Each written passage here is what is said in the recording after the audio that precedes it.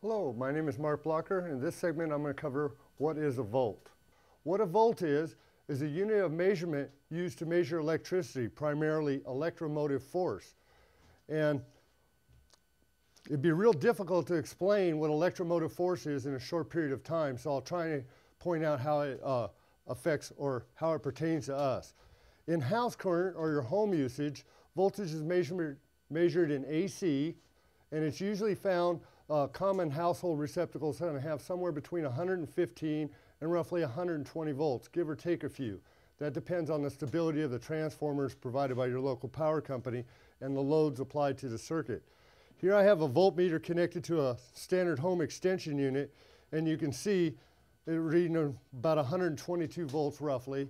So a volt is a unit of measurement used to measure electromotive force. That's what a volt is.